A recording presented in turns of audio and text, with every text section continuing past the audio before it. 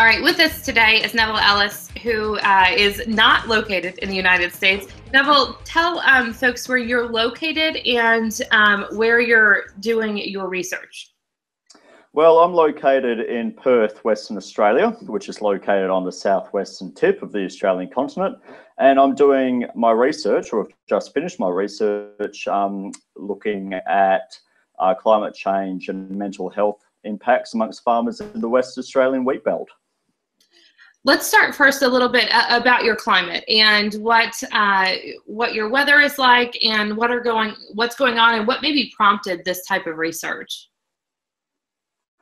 Yeah, sure. So the weather over here is um, it's known as a meta over here. So we've got uh, quite hot, dry summers and cool, wet winters. And it's during the cool, wet winters when um, farmers will uh, plant the crops um, and the growing season will extend from May through to October in that uh, in that cool, wet part of the year. Um, what's been happening recently, however, is that we've experienced a significant drying trend, winter drying trend since the 1970s. So the West Australian wheat belt was once renowned as having the most reliable winter climates in Australia for broadacre agriculture. However, what we see today is something quite different. Not only have we lost upwards of one third of our winter rainfall in parts of the West Australian wheat belt, but we've also seen conditions become much more variable as well. So that's in terms of rainfall falling at different times of the year or not falling when it should be, more extreme weather events, um, but we're also getting more extreme temperatures as well. So heat waves and paradoxically with more frosts as well. So, and the other thing that your listeners need to know also about this part of the world is that this trend, this drying trend, this change in the climate hasn't been linear. The drying trend started in the 1970s and gradually got worse up until about 2000. And from 2000 onwards, things have intensified rather dramatically. In fact, um, things have got so dry over here that Perth's dams, so that's the major city over here, no longer supply water to the Perth um, metro area. Um, we've seen so much drying, in fact, that um, we're now completely dependent upon desalination um, and groundwater reserves. So that gives you an indication to the extent we've experienced a drying climate over here. And our farmers, because they're 100% dependent upon seasonal rainfall, are on the leading edge of climate change risk in this part of the country. When you look at the weather trends, and you mentioned it increased from the 70s to the 2000s, and we've seen an, an, a substantial increase since the 2000s. Um, a lot of your research has been on how that weather and, and the change in the climate or climate change has affected farmers' mental health. So as we look at that, what were some of the things that you saw that maybe prompted this type of research? Well, to give a little bit of background, um, I guess you could sort of call me an environmental psychologist of sorts. I'm interested in how the environment affects people's emotional well-being and their psychological health. And so what we're seeing is that in different parts of the world, climate change is really starting to have an adverse impact on the mental health and well-being of people who retain close living and working relationships to the land. Most of this research has been conducted um, amongst Indigenous populations. For example, there's been research um, come out of Canada over the last few years, which has looked at climate change and mental health impacts.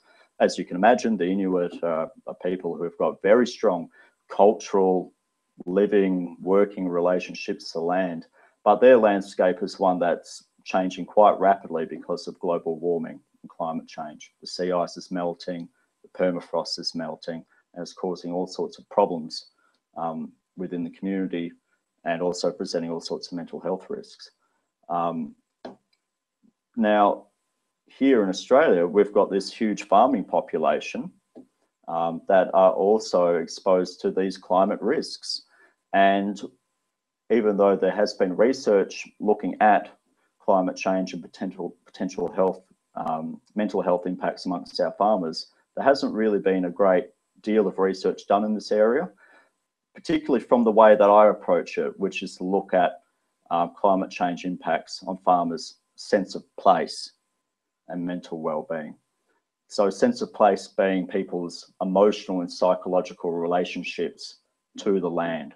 And my big question was, well, if you're a person that's heavily invested emotionally and psychologically in that land, and that land is starting to degrade or be damaged by a changing climate, what does that do to your emotional health and your psychological well-being?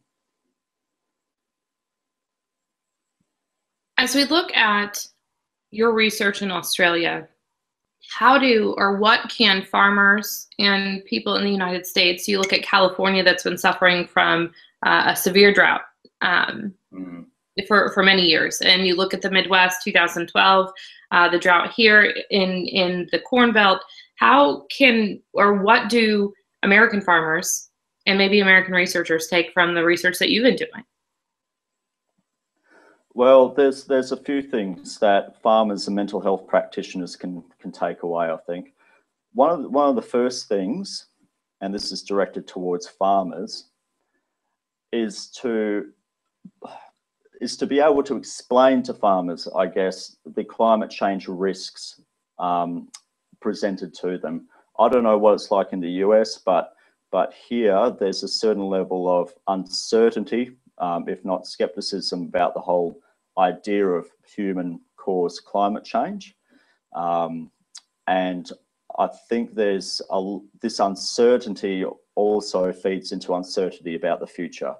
So farmers here, for example, have observed these big changes in their in their local climates over the last few years.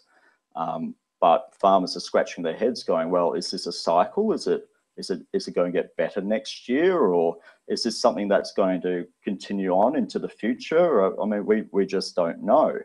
Um, so those climate change messages aren't being communicated very well to our farmers over here. Um, so one of the first things I would be saying to key agricultural government departments is that you need to be able to communicate climate change risks better to to the farmers that are being affected. The second thing I would say, and this is off on a big tangent here, um, and again, I don't know uh, how farms are structured um, in different parts of America, but over here um, in our broad acre regions, what you find is that the house in which the farming family lives is situated right in the middle of the farm. And when you're inside the house, you can quite clearly see the paddocks, the farm, and the rest of the environment very clearly. And when it's green and lush, it's absolutely beautiful. But over here, because we've got this drying trend, more and more the landscape has a tendency to dry out and become very vulnerable to wind erosion and other forms of degradation. And you can imagine that if you're a farmer and your whole life is wrapped up in that land, that's heartbreaking to see your land degrade like that. And it's even more heartbreaking if you go back home and go inside the house and you can still quite clearly see your land being degraded, your land blow away. So one of the things that came from my research was that because there's a very little geographical uh, lack of separation between the farm and the home environment, there's also very little psychological separation between the farm and the home environment. And what I would be encouraging farmers to do is to plant a garden or a green buffer zone around their house. So if things become degraded and become intolerable outside, that you have somewhere, a refuge to come home to. Because there are instances with the farmers that I was talking to where they were getting wind erosion, dust storms, and there's nothing to buffer them against that. They're coming home and the dust is coming in through the front door. You know, it's very emotionally distressing. And so that's where I think this idea of a buffer zone um, it's just a really simple, practical idea that farmers can choose to employ. Um, and the third thing I'd be saying too, this is directed towards mental health practitioners, is don't underestimate um, the power of farmers' sense of place and the importance of their sense of place for their mental health and well-being. Over here, we found farmers um, willing to incur a great level of financial and, and emotional hardship to be able to stay on their land, even when it looked like they had no hope of financially recovering from their position. Um, and you also see, or what nurses and doctors were saying to me was that when the land becomes distressed, you can certainly see distressed farmers. And that's not just only because their financial positions are being eroded by, by these sorts of weather conditions, but also because the farm is a big part of their big part of their emotional life as well. So again, if that land becomes degraded, you see many more stressed out farmers. And so mental health practitioners need to be aware of this relationship that farmers have with their land and that relationship that exists between the health of their land and their own mental health and well-being. Would you liken it to maybe like a seasonal affect disorder, but maybe intensified greatly because there is no escape from uh, what they're seeing every day? Well, it's interesting that you that you raise that that notion of um, seasonal affective disorder because one of the G well one of the doctors that I spoke to servicing these rural communities likened it to a seasonal affective disorder, a seasonal affective disorder that was born out of a lack of rainfall rather than a lack of sunlight. And so he was saying that he could quite clearly see this pattern of of distress amongst farmers, particularly going into seeding where they're obviously having to make some very big financial decisions, they're working very long hours, and they're keeping an eye on the rain at this point in time. But with our drying climate, the rain just hasn't been falling. And so those stress levels really build at this time of year. And he was seeing this happen happening year after year after year. And that's what he called it. He called it a seasonal affective disorder because of this lack of rain. So I think I think that term um, certainly holds some water. Let's talk a little bit about, um, you mentioned that farms, uh, the way that your farms are structured in uh, Australia. And on an average, what's this, what is the average size of, of a farm in your area? Well, out in New, well, the area that I was uh, researching, I think the average size was somewhere between, oh, it varied, probably around about 8,000 hectares, I would dare say. Um, do you operate in hectares or acres in the United States? We operate in acres. Oh, okay. I'm not sure how that how that translates over. Um, I'll, have to, I'll have to do the oh. math, um, but I, I think it's like I don't want to say. I can't remember. It's been a long time. They're, they're in a hectare country. They're really big they're really big farm operations. There was one, for example, there was one um, farming family that I that I interviewed, and it, the father who was doing most of the uh, most of the work on the farm, he also had a farm hand, and between the land that he owned and the land that he leased, he was operating an area uh, that had the equivalent size of I think it was fourteen thousand urban blocks, um, the average size of urban blocks in Perth. So it's just a staggering, staggering area of land. So they're not small farms. It's not, these oh, aren't, oh, no. these aren't your 100, what I would call like a 100, 250 acre small farm. Oh, certainly not. These are big operations, definitely. And you also find that farms in Western Australia tend to be broadacre farms, at least, tend to be bigger here than anywhere else. Um, in Australia as well. So they are they are truly huge. And the further east you go, the bigger they get. um, I, I, guess maybe to to kind of wrap things up, um, any any alarming statistics that that you saw from your research or, or your research pointed to um, anything else that we should know about before we let you go well, because I did qualitative research, I can't point to statistics. I was more um, uh, looking at farmers' lived experiences of climate change. There are a couple of things I'd like to add if, if we've got time. um, there's this term that was invented by my supervisor called solastalgia. And what solastalgia refers to is this sense of being homesick while still being at home. And this term is being used greatly in the climate change community to talk about some of the um, emotional and psychological impacts of a changing climate on, on people's mental health and well-being. Um, now, solastalgia um, is, it sounds like nostalgia, doesn't it? But it's different. Nostalgia is, is what you feel when you're separated from a loved home environment. Maybe you've moved away from it. You've become homesick because you've been separated from a place that you know, you love, and you cherish.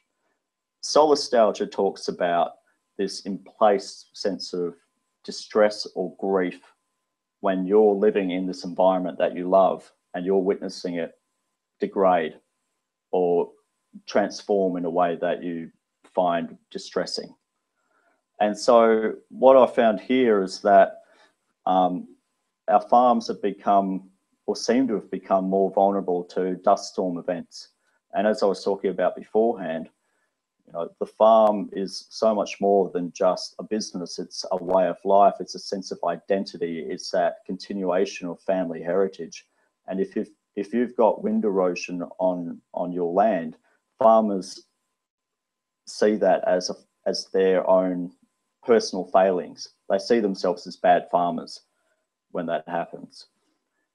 Now, going back to what I was talking about beforehand with this lack of separation between the home and the farm environment, what I found was that farmers' wives were having to drag their husbands indoors, sit them down in front of a movie, close all the windows, all the curtains, and block them off from an outside world that had become far too distressing to watch. I even found a female farmer who uh, would take to putting herself to bed and putting the doona over her head so she just so she couldn't see what was happening outside. She found it so distressing. And that is a classic example of this notion of solastalgia, this homesickness that one feels while still being at home. So I thought I thought I'd just add that in um, at the end there because that's something that's been um, that people have found interesting from this research and something that people could relate to. Um, if we've got, do we have one more minute? yes, you have all the time. Okay, fantastic.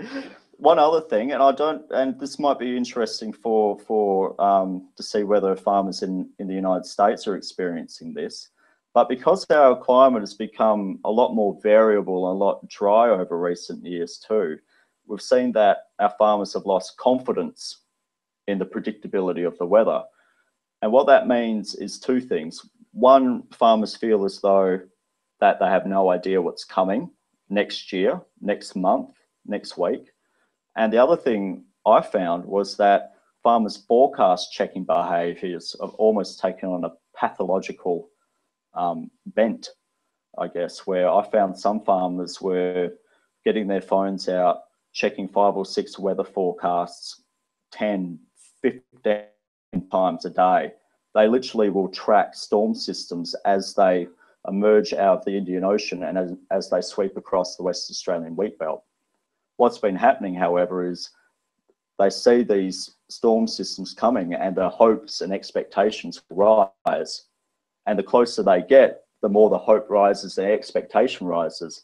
But then right at the end, just before they arrive, these storm systems will dissipate, break up and disappear. Um, and that's what I that's one of the biggest letdowns that farmers that I talked to had felt. They this this almost emotional roller coaster ride of of this boom bust cycle of hope and despair was really quite grinding for farmers to experience.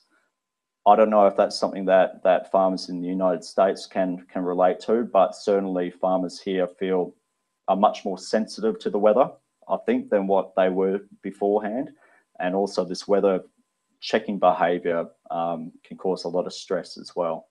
I would compare it very much to 2012. Um, and, and as a farmer's daughter who uh, works with my farm back home in Illinois, one state over, um, I went through the same thing. You, I have three or four weather apps on my phone and constantly watching uh, storm systems move in and break up and just basically split around the corn belt. It was a really tough. Right. It was really tough for farmers in 2012, and then we had a year this year where um, there were farms in Indiana and farms in the Midwest that had mass amounts of rain and uh, a lot of flooding damage too. So I, I know there's farmers in Southwest Indiana that lost 500 to 1,000 acres of corn from flooding. So I think I, I think that parallel that parallels where wherever you are and wherever you farm. Well, well, we we call me and my supervisor call that worry about the weather meteor anxiety. We've given it we've given it a, a name so we can direct people's attention to it. Uh, this this constant and chronic, persistent worry about the weather, and um, yeah, I, I, guess it's the same for for any farmer, isn't it? That whose livelihoods and lifestyles and cultures are dependent upon upon the weather. One quick thing, or one quick uh, question, just as we're talking about weather um, in comparisons to where we are. My weather this morning is cold and snowy here in the Midwest, and you told me uh, your weather is is what? Well, I, I, don't know exactly what the conversion rate is, but it's 42 degrees Celsius over here. So that's, um, I think it's around about 110 degrees Fahrenheit, if not if not more, and we're we're experiencing a week of it. So this this is our longest uh, uh, heat or February heat wave since 1933, I think it is. Um, yesterday was 42 degrees as well, and tomorrow will be 40 degrees. Staggering how different it is. Yes, yes, it is. Um, I appreciate your time and uh, your your ability to uh, make this work, so we can talk a little bit about this. Oh, well, thank you very much for your time. And um, yeah, it's, it's been a real pleasure. Thank you very much. Have a great evening. You too. Thank you. Bye. Thank you.